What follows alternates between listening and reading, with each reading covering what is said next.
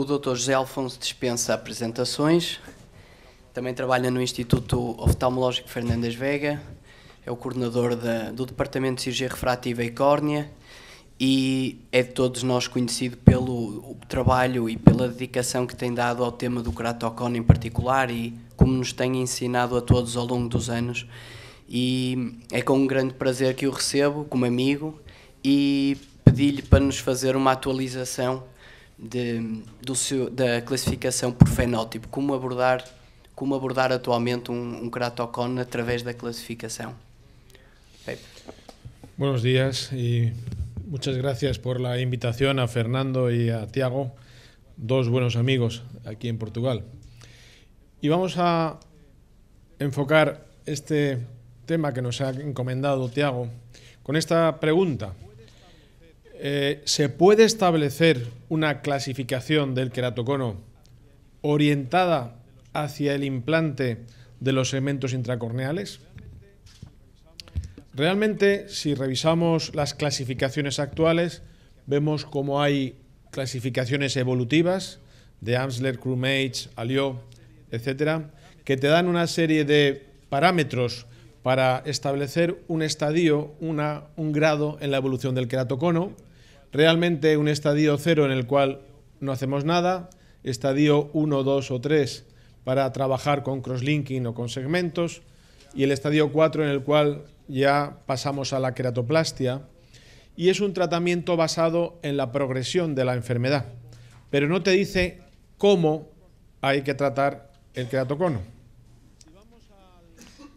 Si vamos a las clasificaciones también descritas morfológicas, la clasificación morfológica más característica para el tratamiento de los con segmentos intracorneales es la clasificación de Ferrara-Albertazzi, que es un tratamiento con segmentos diferenciando cinco fenotipos de queratocono según un eje de referencia y una área ectásica respecto a ese eje de referencia que se ha tomado.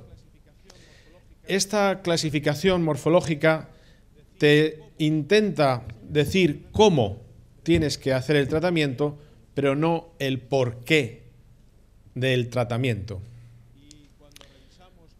Y cuando revisamos realmente el nomograma establecido hoy día para el tratamiento con segmentos de estos fenotipos descritos por Ferrara, vemos cómo hay realmente dudas e incongruencias en este tratamiento que cualquiera que haya empezado a trabajar con segmentos en el queratocono se dará cuenta que hay detalles de este nomograma que no son eh, correctos, aunque es el admitido en todas las publicaciones que hay de queratocono con segmentos.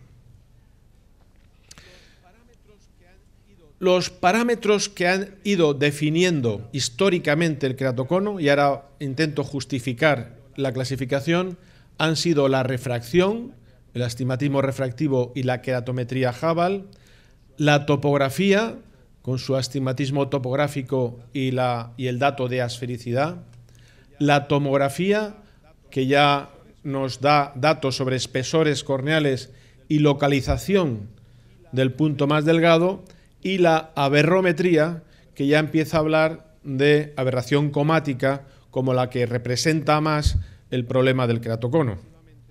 Han ido progresivamente incorporándose en el diagnóstico. Por otro lado, tenemos los segmentos intracorneales.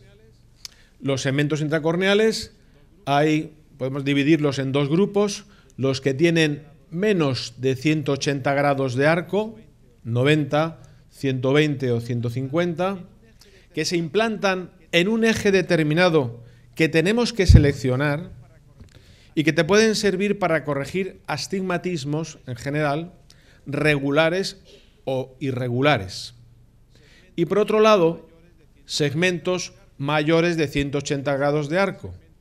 El clásico es el segmento de 210, aunque han salido al mercado otros segmentos también de más arco. Habitualmente se implantan en el eje de 90 grados y sirven para corregir asfericidad. Lo que pretendemos es aplanar la córnea. Estos segmentos también los podemos implantar en zona de 5 o en zona de 6. Hay segmentos en zona de 5 con un triángulo con esta morfología de un triángulo isósceles y hay segmentos de zona de 6 milímetros con la morfología, el perfil de un triángulo escaleno de 800 micras de base. Habitualmente estos segmentos de 5 milímetros de zona óptica es para ectasias centrales o para centrales, mientras que los de zona de 6 son más bien para centrales o pericentrales. Por lo tanto, ya sabemos dónde los parámetros que han ido definiendo el queratocono, sabemos los tipos de segmentos y damos un paso más en el entendimiento de la clasificación si vemos cuáles son estos parámetros que seleccionamos para lo que vamos a comentar seguidamente. Primero seleccionamos la localización de la ectasia, si es central, paracentral o pericentral, con estos números que estáis viendo ahí, que son números de referencia por la experiencia que hemos ido cogiendo en estos años. El segundo parámetro que analizamos es la asfericidad. La asfericidad que sea mayor o menor de menos 1,25, que equivale a una queratometría de 48 aproximadamente, la división entre baja asfericidad y alta asfericidad, el patrón de tratamiento de, perdón, de astigmatismo topográfico, si ese patrón es un patrón regular o es un patrón irregular, y por último, la relación entre los ejes de referencia, el eje topográfico, el eje comático y el eje refractivo, si son coincidentes, si son no coincidentes entre 30 y 60 grados y si son perpendiculares. Estos parámetros han ido definiendo clásicamente todas las estrategias de implante de los segmentos. Todos estos datos los tenemos en cualquiera de los equipos que tenemos en nuestra consulta. Podemos saber, este es el ejemplo de un, eh, de un Sirius, del equipo Sirius, que podemos ver la distancia desde el centro de la pupila hasta el punto más delgado de la córnea. Podemos también definir cuál es el eje topográfico más plano, podemos definir si es un patrón topográfico regular o irregular, podemos determinar la asfericidad de la córnea. Y también tenemos un mapa aberrométrico que nos define el eje comático. Por lo tanto, con, con cualquiera de los equipos que tenemos ahora mismo en la clínica, podemos obtener estos datos que nos sirven para hacer la clasificación. Solamente tenemos que relacionar, y es lo que vamos a hacer ahora, la localización del queratocono, la esfericidad, el tipo de astigmatismo y la relación entre ejes. En resumen, podemos distinguir, y siguiendo un poco con las ideas de Ferrara, cinco fenotipos que estáis viendo aquí. Paracentral o pericentral con ejes topográfico y comático coincidentes, para central con ejes topográfico y comático no coincidentes, para central con ejes topográfico y comático perpendiculares, el F4 que sería central con alta esfericidad, el F5 central con astigmatismo topográfico regular. Hemos puesto con unos datos, unos parámetros objetivos, la idea de Ferrara. Pero esto que decimos es verdad o no? Nosotros identificamos en clínica perfectamente el fenotipo 1, que todos conocéis como el fenotipo croissant. Hemos también en clínica visto cómo es el fenotipo que nosotros llamamos DAC, en pato. Hemos visto también el fenotipo Snowman, en muñeco de nieve. El fenotipo central hiperprolato, que se llama habitualmente Nippel. Y también hemos visto todos el típica imagen del bow tie, pajarita simétrica pequeña.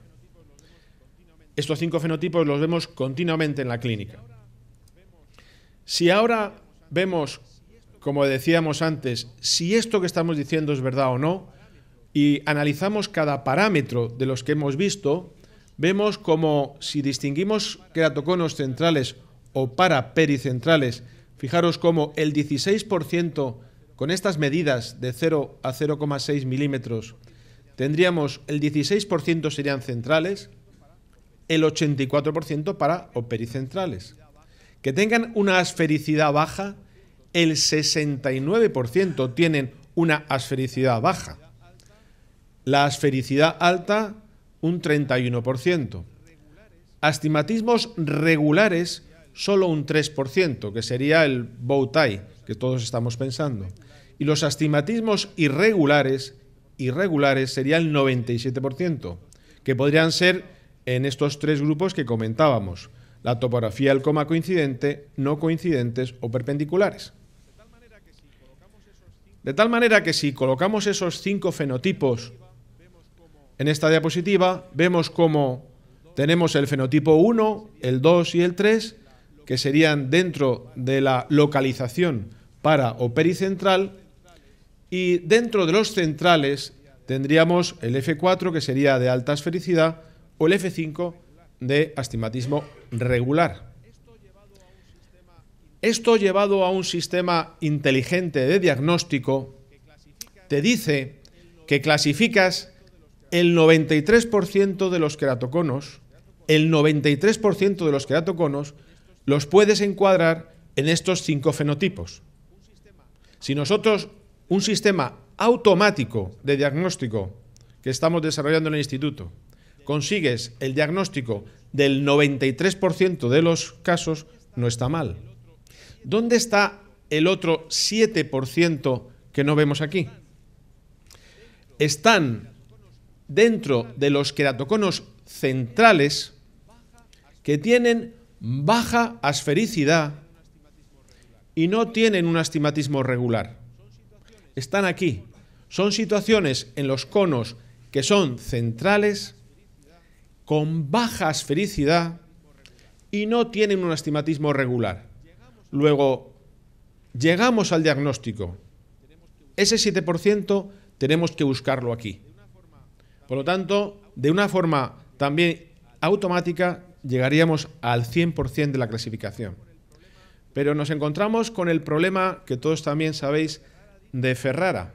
Ferrara dice que él pone un segmento de 210 cuando tienes alta asfericidad en los queratoconos centrales. Según eso, nosotros solo podríamos tratar con un segmento de 210 al 6% de los casos. Si extraemos de los para o pericentrales los que tienen alta esfericidad, resulta que hay un 23% que tienen alta esfericidad y que también son paracentrales. El concepto de queratocono con alta esfericidad y central no es siempre. Tienes queratoconos paracentrales con alta asfericidad. Y esto es importante a la hora de orientar el tratamiento. Cuando orientamos el tratamiento y seguimos el nomograma de Medifacos, Medifacos trata los tres primeros, los tres fenotipos primeros, con sus nomogramas correctamente. Y el quinto, el F5, el astigmatismo regular, también lo trata correctamente. La lucha o la pelea está precisamente en estos con alta esfericidad. Medifacos recomienda en estos casos tratarlos de una manera con su nomograma y sin embargo Ferrara trata todos los que tienen alta esfericidad con un segmento de 210, un segmento de más de 180 grados de arco y zona óptica de 5. Por eso es importante considerar estos cinco fenotipos y hacer la salvedad de los queratoconos que tienen alta esfericidad, porque los podríamos tratar de dos maneras. Este es el reto, la necesidad que tenemos en el futuro de saber cuál es la mejor manera de tratar estos casos de F4. Tiago Monteiro y su grupo está trabajando en una línea de tratamiento con los segmentos. Nosotros también estamos comparando nuestros resultados para saber realmente con dos, dos sitios distintos de trabajo si los resultados son los mismos. Por lo tanto, y para resumir, os vuelvo a recordar un poco los cinco fenotipos que son los más característicos, que podríamos estar clasificando con ellos el 93% de los queratoconos, que ya se han admitido en las publicaciones de impacto, en las revistas de impacto, y que puede ser el primer paso ahora hacia lo que comentábamos antes de unificar la clasificación y el tratamiento. Y nada más. Muchísimas gracias por vuestra atención.